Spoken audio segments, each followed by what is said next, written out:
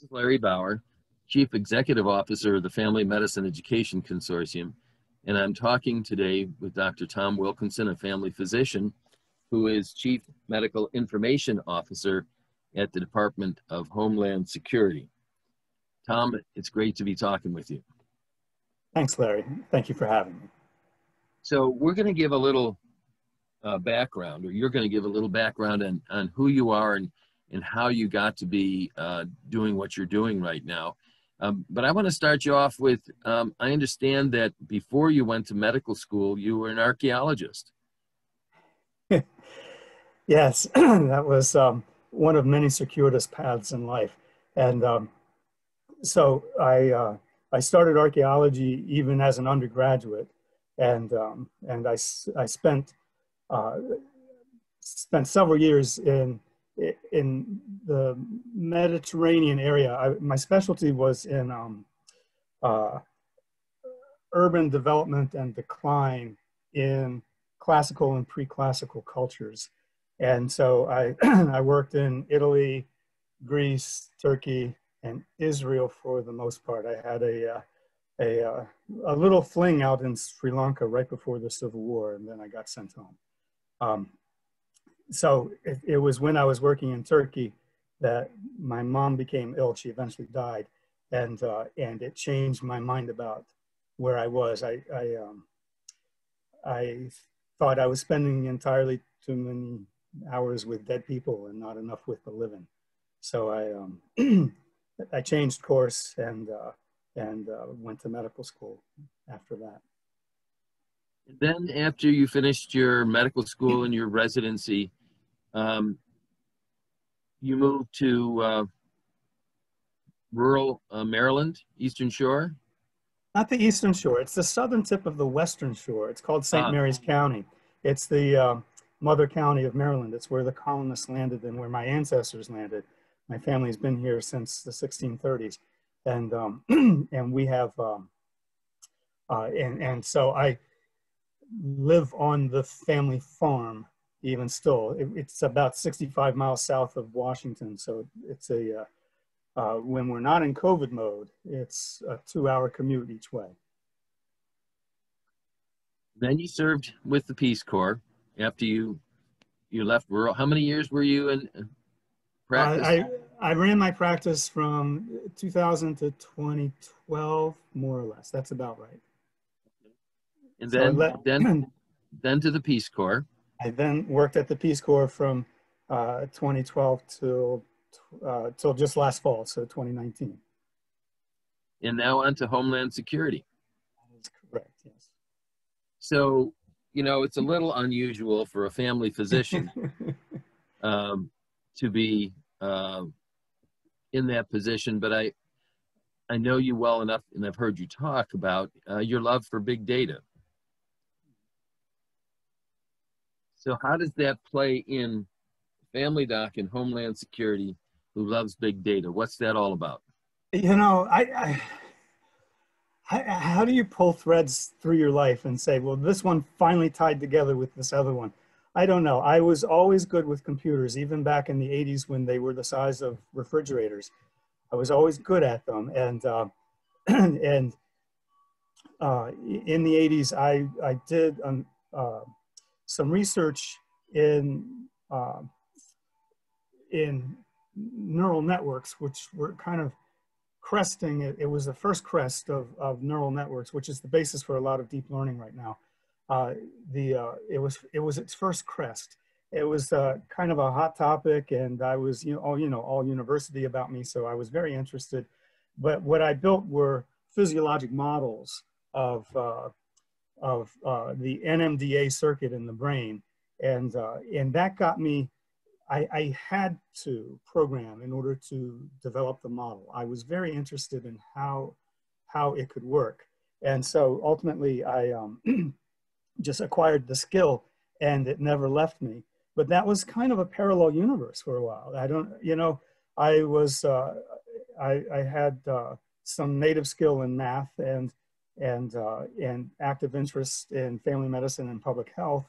And so, it, and public health uses a lot of math. so I, you know, I guess the strings finally wove together uh, when I graduated residency, or actually my third year in residency, where I took a uh, medical informatics uh, rotation in my senior year there at uh, Abington Hospital in, in uh, just north of Philadelphia, and um, and um, then remained on at Abington Family Medicine as faculty. I was uh, I, I, was in charge of of uh, medical informatics curriculum, which is a brand new thing for, for family medicine, and uh, and evidence-based medicine and, and uh, journal club and, and those things. So I finally wove those, those two threads together. I'm not sure I'll ever get archaeology woven into my medical thread, but I'm, I'm still, you know, I'm still kicking. It may happen. Cool. So I know that you have a, uh, a passion for the doctor-patient relationship. And I've mm-hmm. heard you talk about that and the value of that and the lack of awareness that you see among family physicians about the, the real power and value of that. Could, could you speak to that?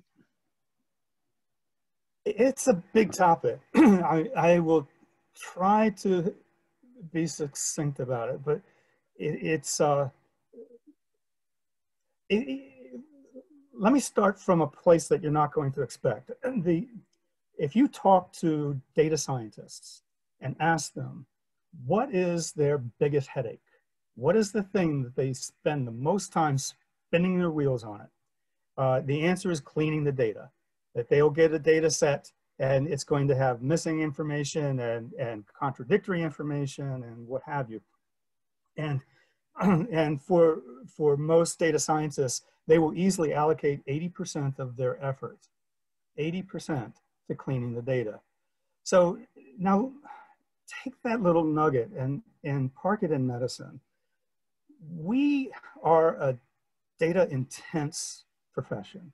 We, we create data, we, we create analysis of data, we layer it with additional data, contextual information, it is, it's all about the data. But the person who has the front seat and the one who is most likely to have the cleanest data is the family doctor who sits with the patient. The doctor-patient relationship is the core relationship in all of medicine. And you may not be aware, uh, but medical data has an entire life of its own. Uh, physicians or, or providers in general will, will, uh, will create encounter information. So they, they, they visit with a patient, they, they create information about it. And, um, uh, and that data has its own life. It ends up in um, de-identified in third parties and resold in all different ways. Uh, a very big market for it is uh, the, that data, especially in aggregate form, is the um, insurance industry who are always looking for trends and anomalies and, uh, and looking for ways to control costs. But in the end, my, my point is that the data live on beyond the examination room. It goes from there and it it, it has an entire industry that is evolved and, and, and anchored on the data that we generate as physicians in the examination room. The, the thing that has, has my attention is that the, those data in the end are our, our work product so so it is absolutely true that the, that the patient owns the core information. They own the data. It is their body that we talk about. So it is their data. But to say that the physician has no interest in the data that they add, I think is is is misunderstanding the context. It's our work product. We make we make additional data. We we we collect information we sort it in a way that that creates narrative and, and, and, and understanding. And we layer additional laboratories or, or radiologic information or, or information from, from a specialists. and we collect that information, that value is added. That is not something that the patient owns, it's something that the doctor owns. Well, so look at it in that way that there, that nugget then leaves us and goes somewhere else, has a life of its own.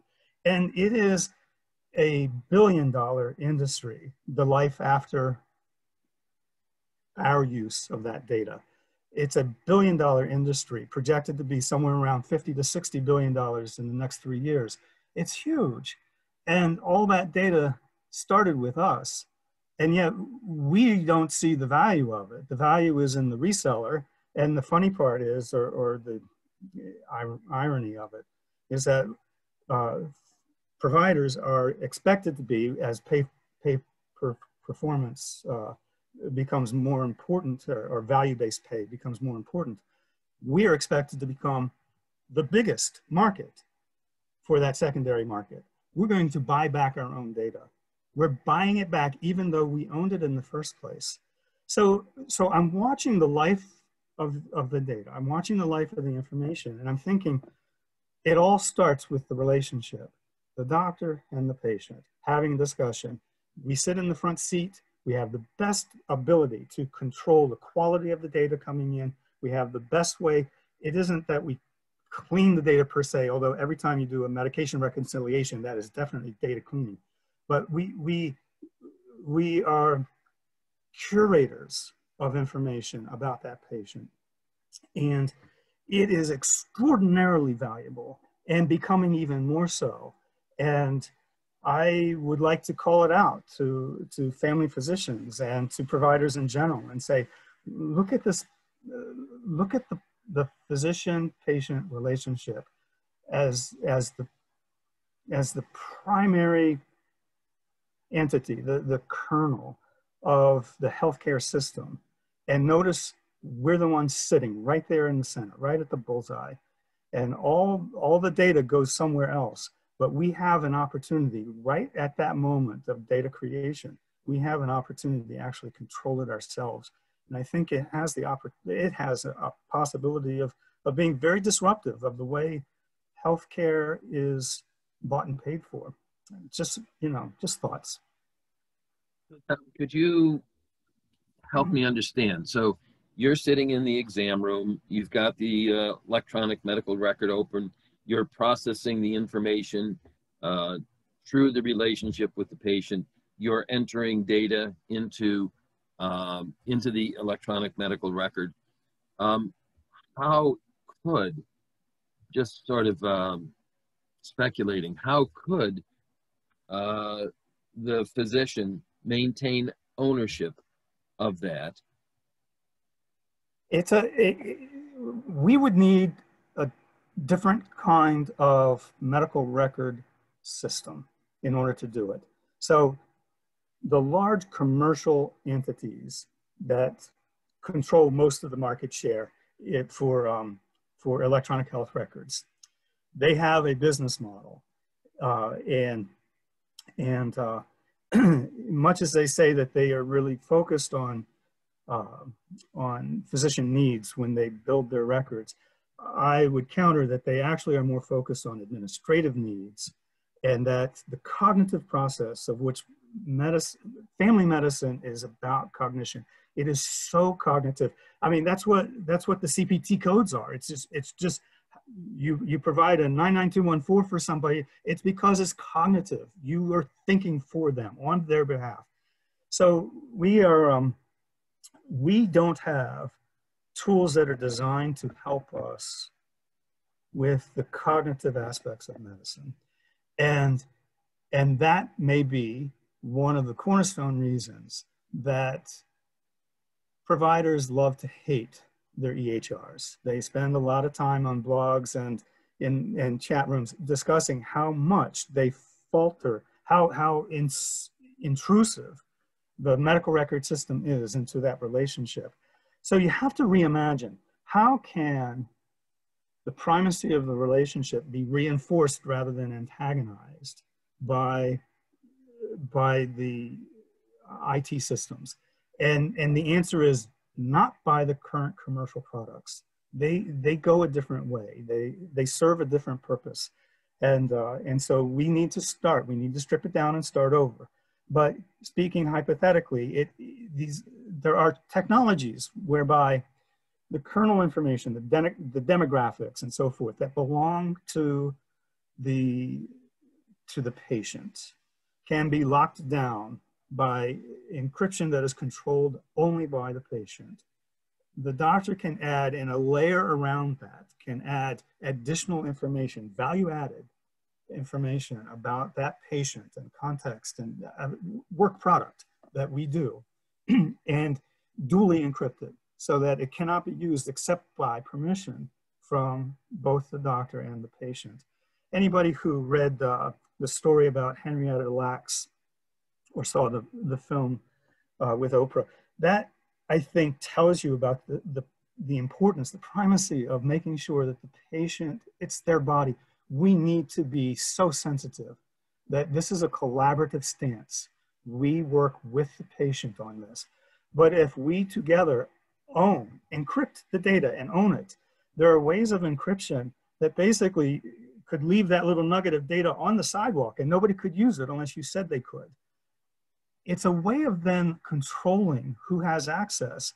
And if you were to sell your data, so to speak, to the open market, to, to all those companies for whom, for whom the secondary aggregation of information is valuable to them and their customers, then I think you begin to create a whole different way of reimbursing for medicine, a whole, or, or at least augmenting the, the business aspects of medicine it would be disruptive because it will remove status and diminish the, the, the market for our, our traditional EHRs and, and, the, and the kind of classically hospital administrator driven decision making that brought us to them.